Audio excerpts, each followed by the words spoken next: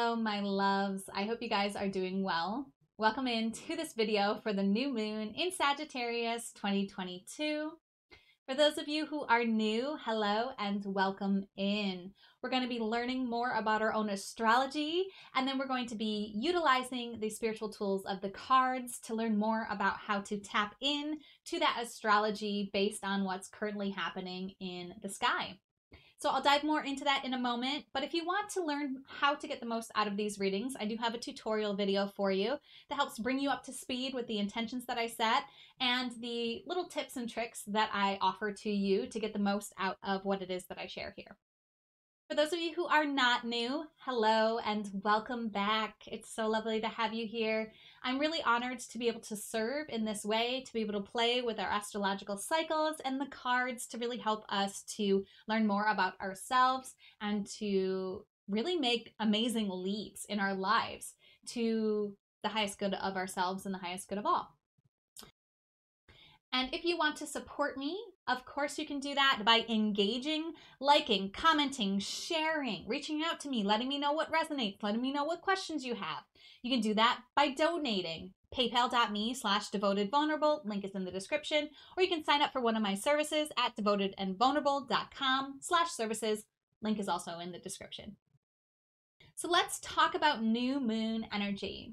New moons occur when the sun and the moon are in the same sign at the same degree point. So the new moon always happens in the same sign that the sun is in. The sun moves into the sign of Sagittarius on November 22nd, and the new moon happens on November 23rd. The new moon will happen in 1 degree, 38 minutes, and this lunar cycle, most lunar cycles last 28 days. This one will last from the 23rd of November until the 23rd of December. So, when we're talking about this guidance and advice for this lunar phase, we're going to be talking about this cycle period from November 23rd to December 23rd. So, we're focusing on new energy, and we're focusing on new energy under the umbrella of the Sagittarian energy and archetype. The Sagittarian energy is the archer, the centaur, aiming its bow and arrow at what it wants, it's always aiming at truth and then aiming at other things as well. So, if you want to learn more about how Sagittarius influences you and your chart, I recommend checking out my solar readings that I did for the solar shift into the sign of Sagittarius. The sun is the spotlight of our galaxy. As it moved into the sign of Sagittarius, it's spotlighting this sign, and we look at our own astrology to get guidance and deepen our understanding of how this energy and archetype shows up in our lives. You can click on the playlist showing up right now. That'll take you to those videos. The link is also in the description here. So if you want to visit that video after you're done with this reading, you can go do that. For this reading, we're focusing on new beginnings within the Sagittarian energy and archetype. We're actually going to be focusing on a new joy. We're going to be asking the cards to guide us to a new joy, a new beginning, a new expansion when it comes to the joy within our hearts. Sagittarians are optimistic, they're idealistic, they love to learn, they love to adventure, and they are very joyous in their nature. So, we're going to be focusing on the joyous new beginnings that this new moon is going to bring us. We are going to be going to my new deck, the Starseed Oracle to get guidance on where this new beginning of joy is showing up in our lives. I'm really excited to share this new deck with you. I've had it for a few months here, and this is the first time that I'm offering it in a public reading, so I'm really excited to get into the wisdom and guidance and beauty of this deck with you guys. Now, if you want to learn more about the astrology of this moment of the new moon, I'm going to recommend Pam Gregory's video, which will dive deeper into the astrological energies, fully in play at the time of this new moon. It was a really great video that I watched, and I do want to link that video here and reference it to you if you want to learn a little bit more about the astrology.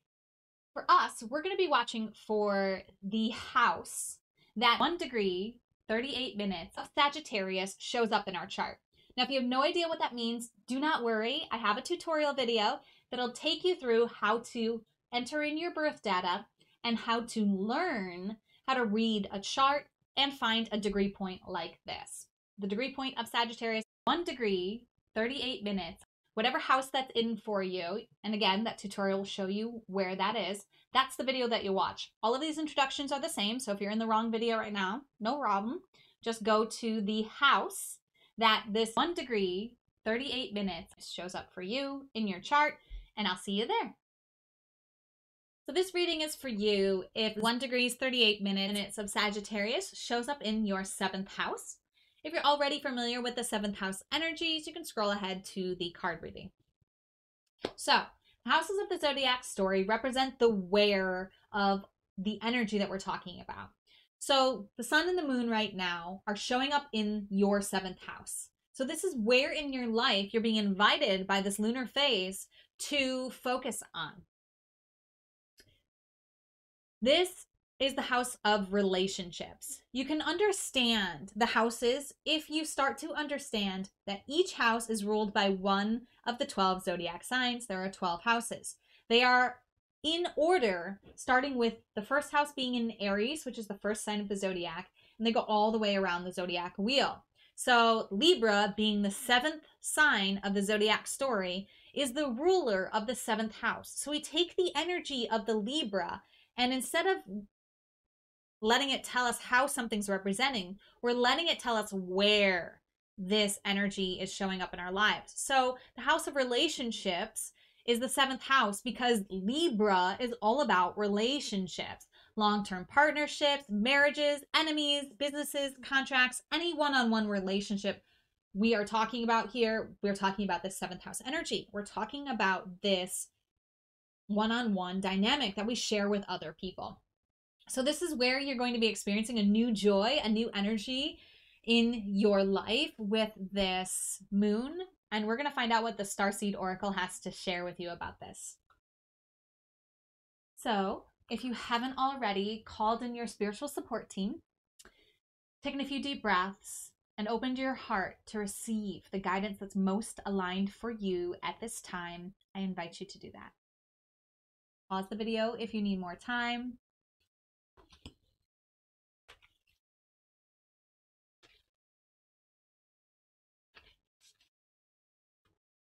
Ooh, okay. That one just, I don't know if you guys saw that. It just like slid itself out. It's like, I'm right here. Double mission.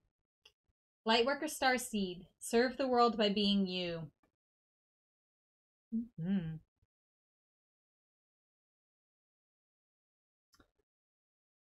Lightworker star seeds are mission and purpose oriented. Many have the feeling that time's running out and that there's something that they came here to do, contribute, and create. They're here to grow as souls, individual mission, and also to contribute to the planet in some action oriented way, collective mission. Their collective mission is often answered through a career's calling or by devoting their life to something bigger. Until they remember their collective mission, it can feel as if something's missing, or that they're forgetting something important. It's common for lightworker starseeds to feel that they're different, and that and they may carry soul memories of being visible or sharing their voice. As such, they may protect themselves by dimming their light in order to fit in or by spending time in some sort of closet, such as a spiritual closet. You're being called to remember your collective mission and step into it even more fully. You're being reminded that your role as a light worker is to light up the world with your presence. This doesn't have to be a big thing or a decision you need to make. You also don't need to have a great big plan. If you resonate with being a light worker, all you need to do is to work out what lights you up, your passions, your joys, and keep doing that. When you trust and follow the simple path of things that light you up, and then lose yourself in the doing, you'll light up the world without even trying. Your journal prompt from this card is How can you serve the world by being you? So, yeah, let's relate this card and this energy and this information to the house of relationships. You're being invited to nurture and experience a new joy within the relationships that make you feel joyous, that help you to serve your passion. What relationships are you passionate about? What relationships and one-on-one dynamics do you get into that help you to follow your passions that help light up your joy you're being invited this lunar phase to experience a new relationship with those people within those relationships follow your joy by following the relationship energies and dynamics and feeding those relationships that feed you, that allow your, you to be your passionate light worker self.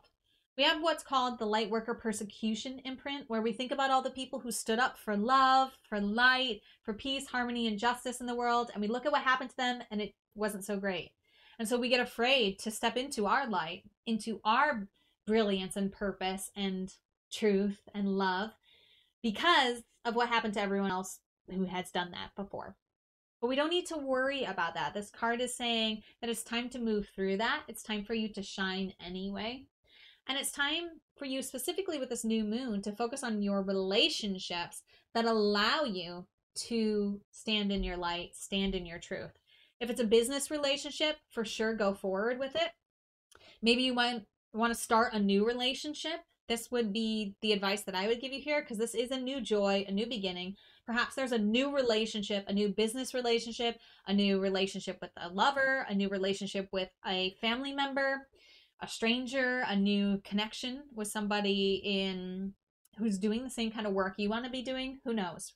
But there is a new energy, a new joy being brought to you through a one on one relationship dynamic that is allowing you to express your joy and your passion. That is your guidance for the new moon in Sagittarius. Let me know how this resonates. Let me know if you have questions. Enjoy your new moon phase. And as always, namaste. The universal light within me salutes and honors the universal light within you. Namaste.